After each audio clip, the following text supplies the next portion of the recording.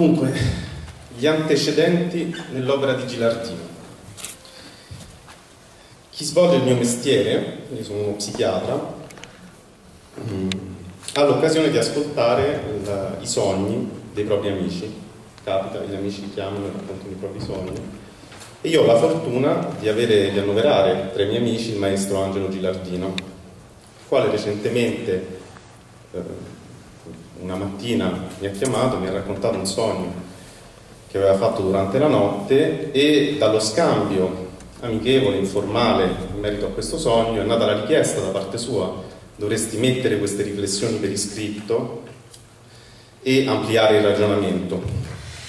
E siccome a margine di vent'anni d'amicizia riflettevo da tempo sull'opportunità di dare un contributo alla comprensione della sua opera, ho deciso di cogliere l'occasione e di sviluppare il tema degli antecedenti. Che cosa intendo per antecedenti? Intendo ehm, l'accezione con cui lo ha utilizzato Franco Donatoni nei due volumi pubblicati da Adelphi nel 70 questo e nel 1980 l'antecedente X, ossia quella costellazione inconscia ehm, da cui proviene la pulsione a tradurre in eh, materia, in gesto artistico, una ragione profondamente intima e difficile da individuare. E sicuramente il sogno è quello che si presta meglio. E poi da lì eh, ho ampliato il ragionamento in uno scritto di prossima pubblicazione che cercherò di riassumervi quest'oggi.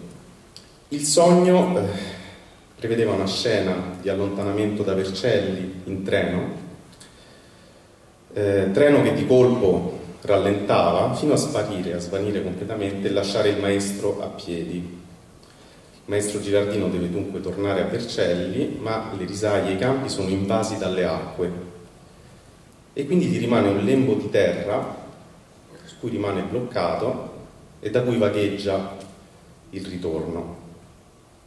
Ascolto il sogno, eh, devo riassumervi dei passaggi necessariamente in pochi minuti, ma per me era chiaro che il sogno fosse quella che in psicoanalisi si chiama la scena primitiva, cioè che fossero convocati la mamma e il papà.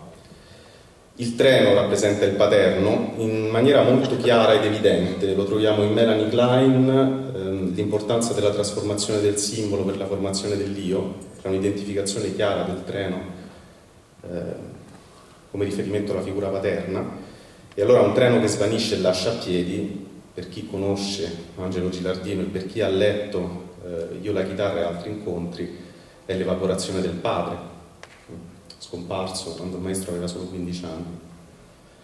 Se viene meno eh, l'antagonista etipico, il materno rischia di diventare eh, pervasivo, invadente, eh, impossibile da gestire.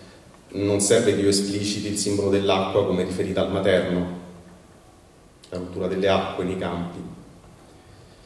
E quindi gli oggetti primitivi di canalizzazione della pulsione, del desiderio, sono sottratti alla disponibilità di chi fa il sogno e rimane una lingua di terra. Io dicevo, certo, questa lingua di terra simboleggia la malinconia, il desiderio perpetuo, quella malinconia di cui abbiamo sentito parlare Lorenzo Micheli nel primo intervento, e dico tu sei l'angelo, l'angelo della melancolia, ha scritto, il maestro Gilardino ha scritto un lavoro che si chiama Musica per l'angelo della melancolia, che è direttamente ispirato a una delle più famose incisioni di Dürer, eh, La melancolia del 1514, incisione che può diventare simbolo più ampio per la comprensione poetica dell'opera gilardiniana. Piccola annotazione in passaggio, chi ha presente l'incisione ricorda che eh, la scritta al di sotto dell'angelo recita melancolia prima, eh, sappiamo bene che non ci sono melancolie successive, quindi non è la prima di una serie di, mel- di malinconie, è una qualificazione della melancolia, è la melancolia dell'artista quella di quell'angelo, dell'artista che desidera una verità perennemente inattingibile.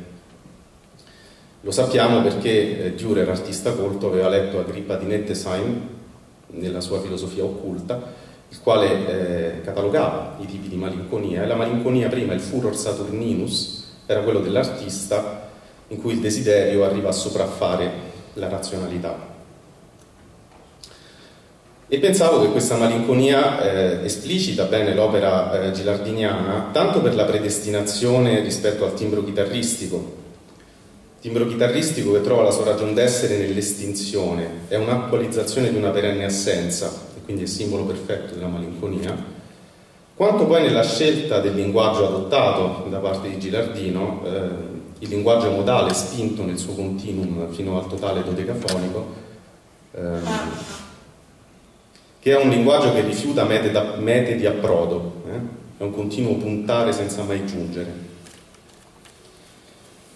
Quando ho presentato questa interpretazione al maestro Girardino mi ha detto innanzitutto ti prego di metterlo per iscritto e diffonderlo, quindi se mi raccontate un sogno tranquilli che non lo vado a raccontare su un palco, almeno non me lo, non me lo raccomandiate, e, e di ampliare il ragionamento. E allora il secondo eh, punto che trovavo interessante analizzare circa la sua poetica come forma di antecedente rispetto a tutto quello che lui ha prodotto è eh, l'idea della musica come paesaggio. Questo viene da un'intervista eh, rilasciata su Guitarta all'inizio degli anni 2000, qui il maestro Gilardino dice mi capita di essere ossessionato dall'idea di un luogo con un suono, come luogo in cui abita una verità inesprimibile altrimenti. Un luogo con un suono, un paesaggio in cui abita la verità, sembra difficile da conciliare con il linguaggio musicale che di per sé è diacronico, cioè si sviluppa nel tempo, non c'è un suono. Allora riflettevo su questo e per associazione ho pensato a una lettura cardine nel percorso gilardiniano, che è la lettura della ricerca del tempo perduto di Proust. E l'analogia diventa un po' più chiara. Perché in Proust abbiamo innanzitutto l'identificazione del paesaggio come luogo in cui abita una verità. Eh, Proust dirà dovevo pensare alla parte di Svan e alla parte di Meseglis come profondi giacimenti del mio sottosuolo mentale. C'è in Proust poi una volontà di ehm, configurare il paesaggio, il mondo, il reale come qualcosa che è sottratto al divenire del tempo, Nell'ultimo libro si compie il miracolo per cui scopriamo che l'attività artistica permette di superare questo limite apparentemente insuperabile che è lo scorrere del tempo.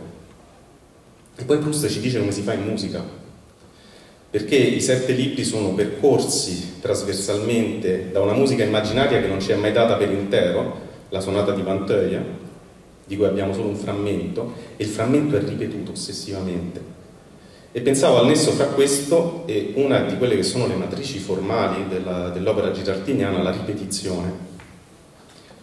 Eh, ripetizione che diventa elemento fondativo del lavoro esplicitamente dichiarato all'opera di Marcel Proust, Le à Combray, di cui c'è stata la prima nel 2019 ad Alessandria, in cui tutti i, primi tre, i tre movimenti iniziano nelle prime battute con l'iterazione di una formula che poi tornerà più volte ma si, potrebbe, si potrebbero citare innumerevoli esempi di questa eh, necessità formale di configurare la ripetizione come elemento di sottrazione del tempo alla musica, fino a privilegiare la forma passacaglia che ritorna eh, più volte nel suo catalogo, eh, dalla passacaglia degli studi di virtuosità e trascendenza a Santuario, al secondo dei ritratti italiani, al secondo movimento del concerto La Casa delle Ombre, la Casa delle Ombre ad Asigliano e la Combré gilardiniana, in cui la passacaglia arriva a creare un incipit iterato di una sola nota.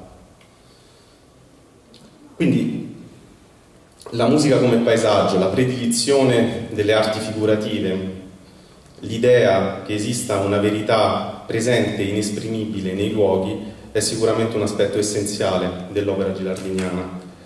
Tra l'altro la sua naturale pulsione eh, per l'arte figurativa, che poi ritroveremo eh, in un altro dei suoi antecedenti, eh, mi sembra puntare ugualmente in questa direzione. Arte figurativa che di, di suo è acronica, eh, è sottratta al tempo, al contrario della musica. E paradossalmente quando vuole ritrovare il tempo ricorre allo stesso stratagemma, la ripetizione eh, la cattedrale di Rouen di Monet, 31 volte lo stesso soggetto per raccontare il tempo che passa. Oltre al paesaggio mi, volevo, mi sono posto la domanda di come si sia rapportato Gilardino a degli oggetti ideali eh, del suo percorso formativo. E mi sono rifatto la lezione eh, dello psicanalista austriaco Heinz Kolt, quale teorizza due possibili relazioni con l'oggetto idealizzato, la cosiddetta traslazione speculare e la traslazione idealizzante. Cosa vuol dire? Traslazione speculare vuol dire confrontarsi con un oggetto idealizzato da pari a pari. È la grande colpa, fra virgolette, ormai assolta del Gilardino che si rapporta a Segovia.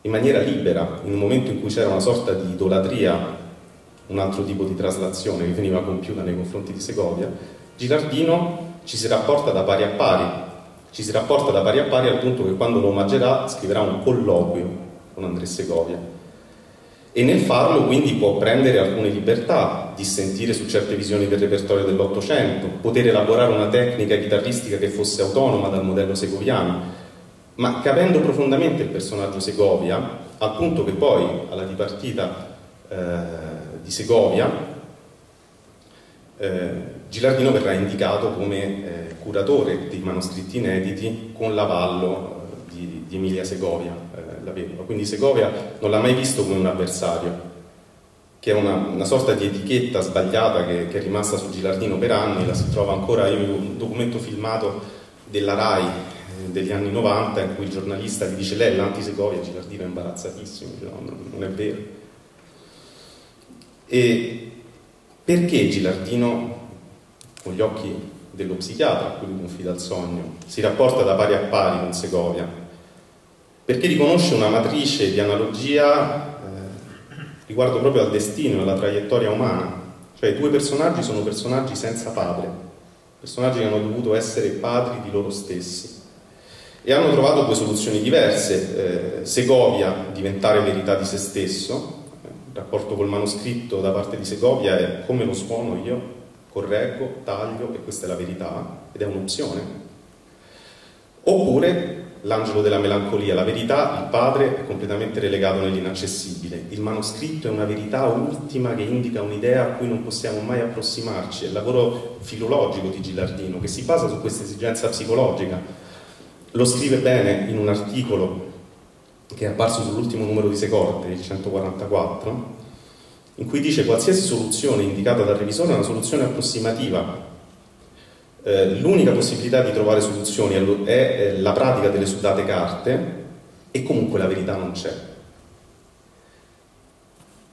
Due figure senza padre, al punto che nella biografia eh, di Segovia scritta da Gilardino sentiamo un termine colto, non direi desueto, non stupisce in un autore del calibro di Gilardino, ma nel quale sembra quasi pulsare eh, un lapsus, un neologismo. Eh, Gilardino dice che Segovia attuò una partenogenesi, cioè nacque forma virginale, non aveva una figura paterna, ma sentiamo quasi pulsare sotto paternogenesi, cioè i due sono stati padri di loro stessi.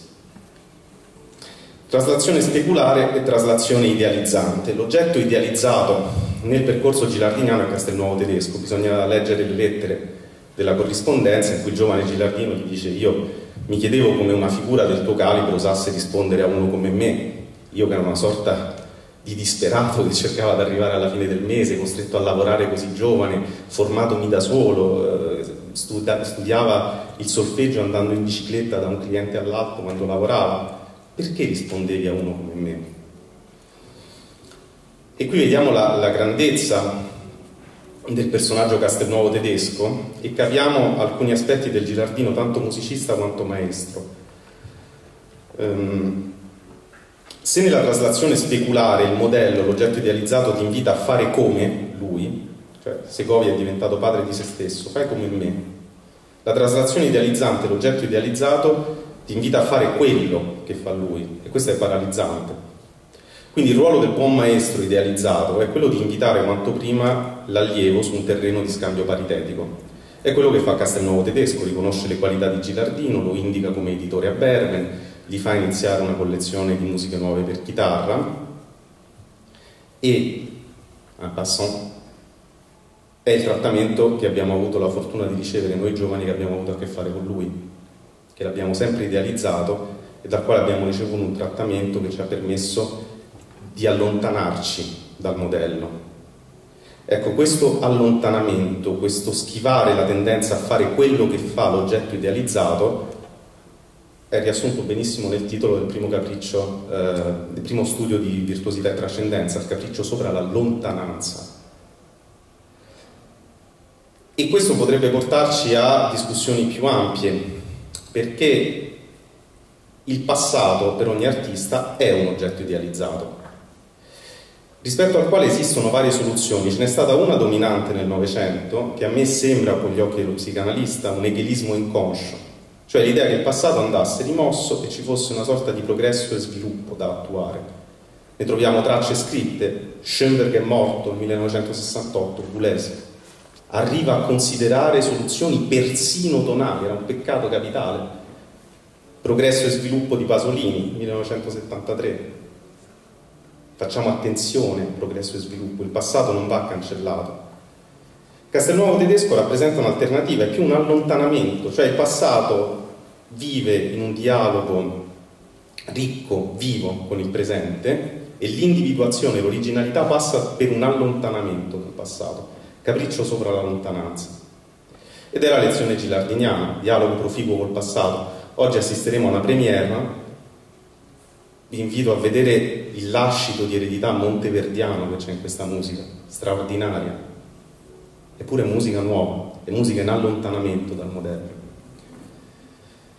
E concludo eh, con il Gilardino biografo. Mi sono chiesto ma perché accanto alla sua attività di compositore ha avuto la necessità di recuperare, recuperare alla storia certi personaggi, in particolare tre, eh, Luigi Mozzani, Antonio José e Umberto Ravello, eh, concertista, compositore di Taio Mozzani, Antonio José, grandissimo compositore, e eh, Umberto Ravello, pittore vercellese, forse il massimo pittore vercellese che attendeva un riscatto, ed è stato Gilardino che l'ha segnato attraverso la biografia che ne ha scritto. Cosa accomuna questi tre personaggi? Sono tre personaggi periferici. Che cosa intendo? Sono tre personaggi che svolgono la loro opera lontani dal centro, lontani dal luogo in cui si sta svolgendo la storia con la S maiuscola in quel momento.